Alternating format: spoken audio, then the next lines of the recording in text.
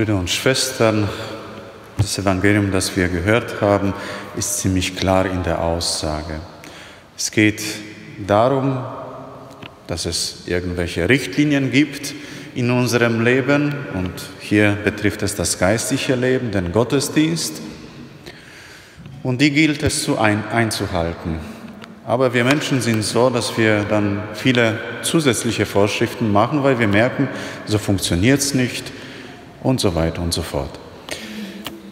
Und irgendwann sieht es beim Volk Israel so, und Jesus bemerkt das, dass viele der Vorschriften, die sie für heilig, wichtig und notwendig halten, eigentlich sinnlos sind. Sind Satzungen von Menschen und sind Lasten, die niemand tragen muss. Dazu eine kleine Geschichte. Ich weiß nicht, ob ihr einmal Kochschinken gemacht habt. Kann sein. Es ist keine große Kunst.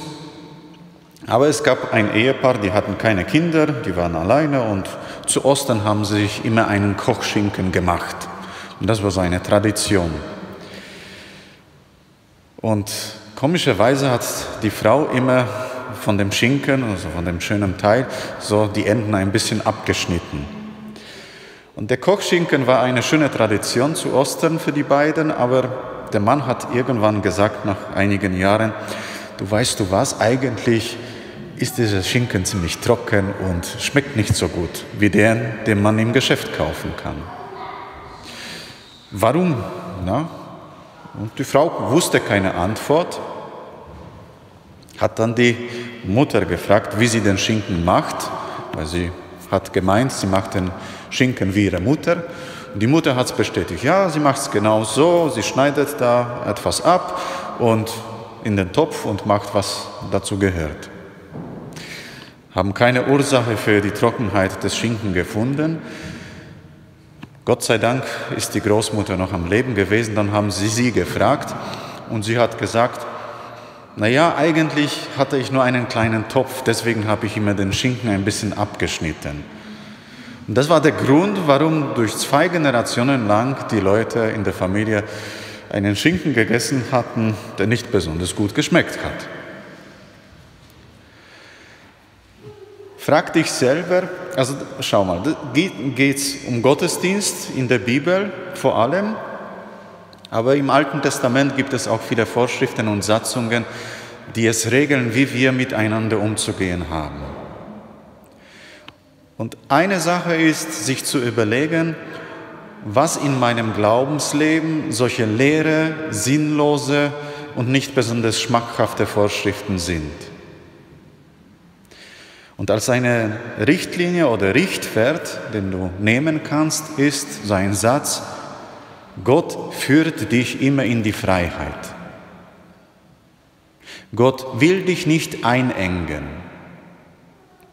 Und wenn etwas in deinem geistigen Leben, was den Anschein nach eine sinnvolle Vorschrift ist oder ein Gebot, dich wirklich einengt, dann ist es das erste Anzeichen dafür, dass du dich fragen solltest, ob wirklich dieses Gebot oder diese Vorschrift von Gott kommt oder ob du das dir selber gemacht hast.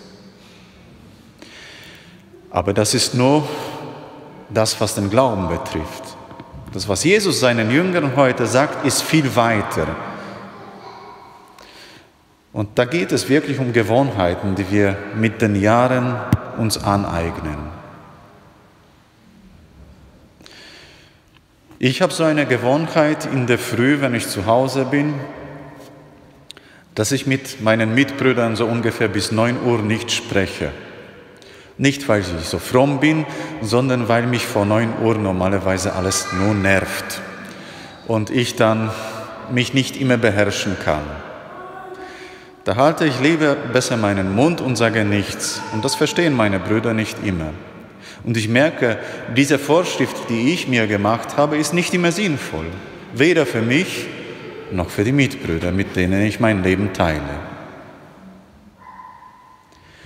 Frag dich selber, welche deiner Gewohnheiten sind so wie die der Pharisäer oder meine. Was vielleicht in deinem Familienleben dich wirklich behindert. Manchmal bürden wir den Kindern sehr vieles auf, was wir selber gelernt haben, was an und für sich nicht schlecht ist. Aber vielleicht hat sich die Zeit verändert und es etwas anderes braucht. Oder dein Kind ist einfach so besonders einzigartig wie jeder andere, dass es etwas anderes braucht als du. Oder meine Eltern oder meine Freunde, mein Ehemann, meine Ehefrau.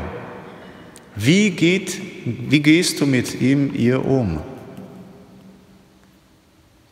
Und was an dem, was du tagtäglich an Ritualen und Gewohnheiten hast, behindert das Leben.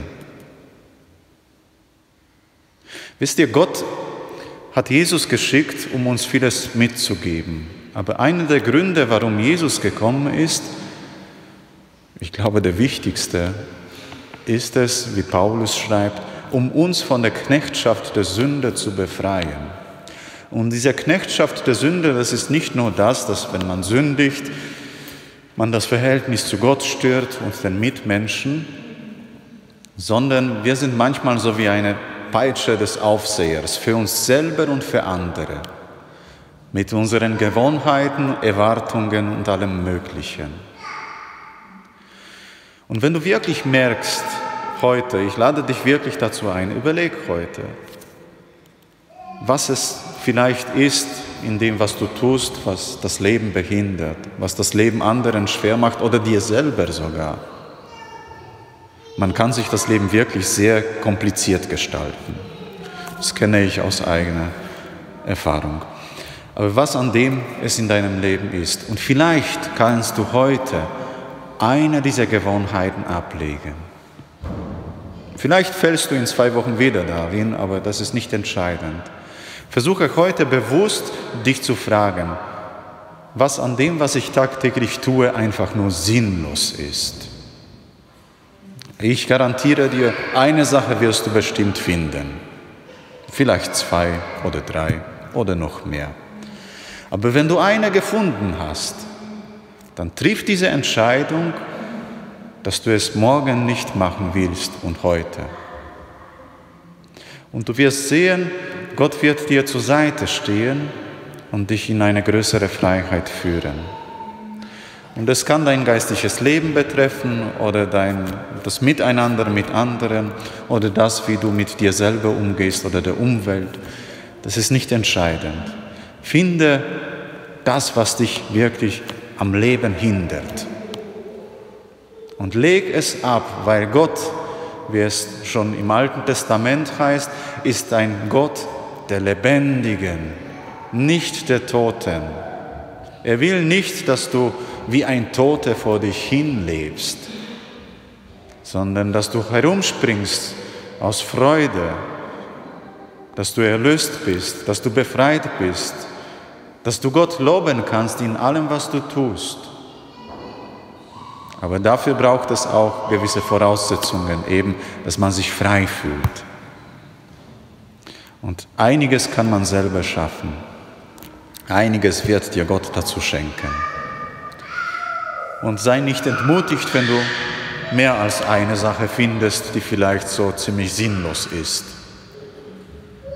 Das bedeutet nicht, dass du ein schlechter Mensch bist, nur dass du vielleicht nicht besonders sinnvolle Beschäftigungen nachgehst. Aber das macht dich nicht schlechter oder dummer oder sonst was.